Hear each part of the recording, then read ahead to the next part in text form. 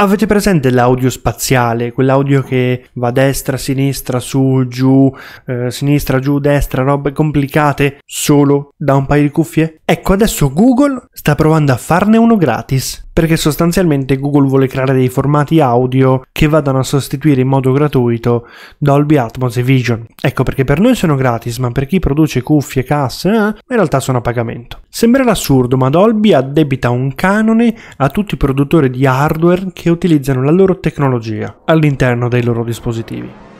Attualità, informatica, mondo del web. Questo e tanto altro su Occhio al mondo. L'occhio attento a quello che ci succede intorno pare secondo Protocol che Google stia lavorando a nuovi formati HDR con audio 3D, che noi comuni mortali potremo finalmente riconoscere. Il tutto, come dicevo prima, completamente senza canone da parte di Google che ha creato questa cosa e quindi di fatto sarebbe un vantaggio per i produttori. Che ci sta perché giusto per dare qualche numero, un produttore all'ingrosso per 50 dollari di merce deve pagare circa 2 dollari a Vision e Dolby per unità, non totale, proprio per unità se fai 50 euro di cuffie, per ogni cuffia devi pagare 2 dollari, che è una roba. E voi mi direte, ma non è strano?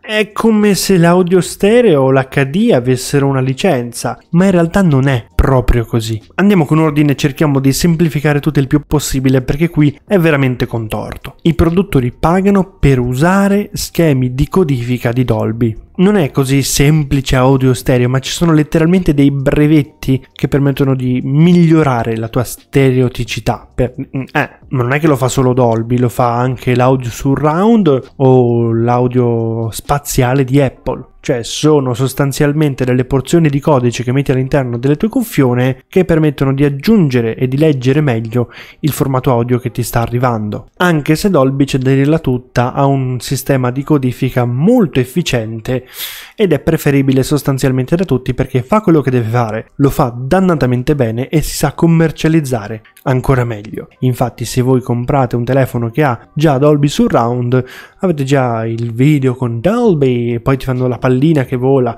e tu wow che figata, lo fanno anche altri, non lo fa solo Dolby, solo che Dolby ha investito per prima su questo, quindi è la migliore. Quindi giusto per tornare in topic, Google vuole fornire la sua versione di audio spaziale più video però gratis per i produttori, senza canoni da pagare per poter usare quel tipo di tecnologia. Ma perché oltre alla gratuità un produttore dovrebbe affidarsi a Big G per quanto riguarda la decodifica di audio video? YouTube molto semplicemente.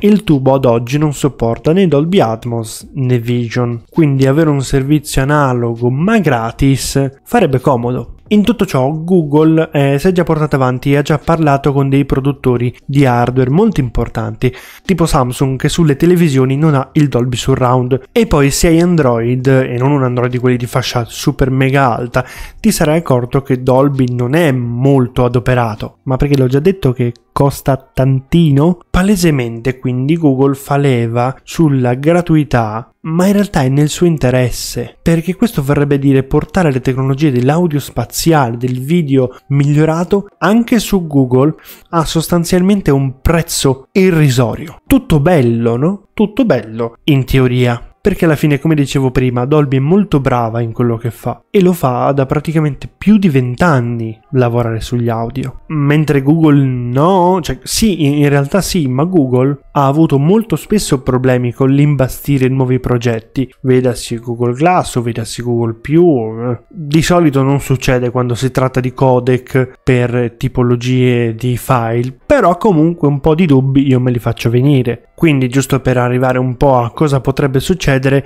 io mi immagino che YouTube svilupperà i propri codec HDR eh, audio e verranno utilizzati sostanzialmente solo su YouTube. Ma forse neanche, perché comunque ci sarà un altro formato di video HDR oltre a HDR e Dolby Vision. Quindi vuol dire ulteriori codec da implementare per i produttori che fanno cuffiette o casse o telefoni. Solo per YouTube e aumentare la qualità ma non pagando niente? Non lo so. E in tutto ciò YouTube ha già un sistema di miglioramento di video HDR che è il VP9, quindi nota a margine ma mica tanto a margine. Se parliamo di codec video come HDR10 Plus e Dolby Vision dovete sapere che sono formati per l'archiviazione di metadati dinamici. Cioè, fermi non chiudete la puntata, in pratica sono informazioni aggiuntive che possono aiutare i televisori, gli schermi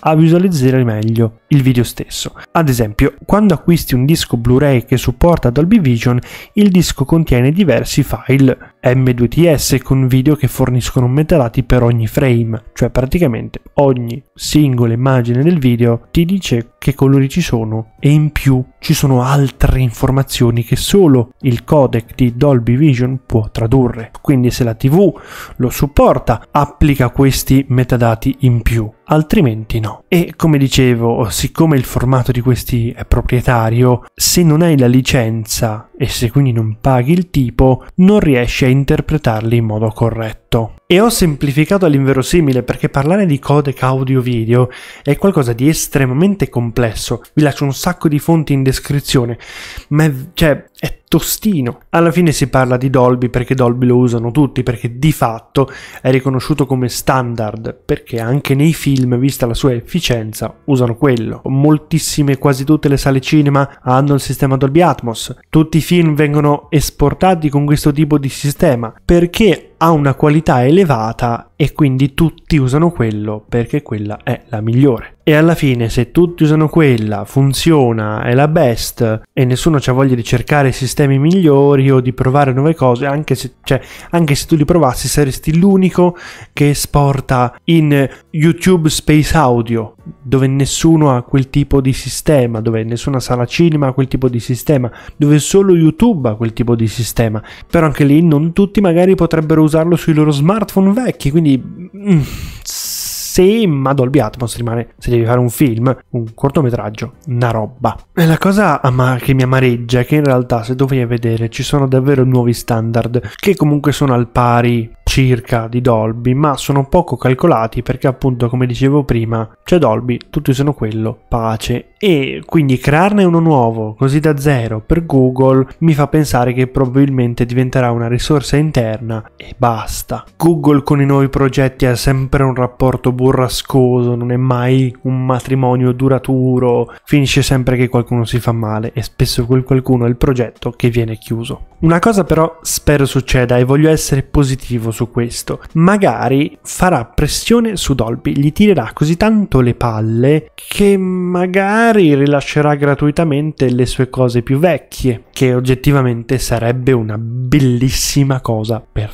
tutti il vecchio sound surround standard Dolby Digital 5.1 o anche Dolby Digital Plus 5.1 è ancora fottutamente buono, no? È una roba potentissima quando vedete audio 5.1, considerate che è di più di vent'anni fa. Quindi è pacifico pensare che dovrebbe ormai essere gratuito, visto che comunque le tecnologie di oggi sono molto più avanti. Davvero questa è l'unica cosa che effettivamente potrebbe succedere di positivo se dovesse crearsi l'alternativa gratuita dell'audio spaziale eh, di Google. Però non lo so. Voi che ne pensate? Esperti di audio, ho sbagliato qualcosa? Nel caso fatemelo sapere qua sotto nei commenti eh, che comunque non è il mio campo, io ho cercato un po' di semplificare tutto il possibile, tra l'altro chi mi segue in video avrà visto che ho il canovaccio proprio perché sono cose che non conosco troppo bene, per cui prontissimo a correggere qualcosa o se proprio avessi cazzato malissimo fare un bel video di scuse. Detto questo, io spero che questa puntata vi sia piaciuta, mi interesserebbe davvero sapere che ne pensate di questo nuovo progetto di Google, eh, sempre nei commenti o nel gruppo Telegram.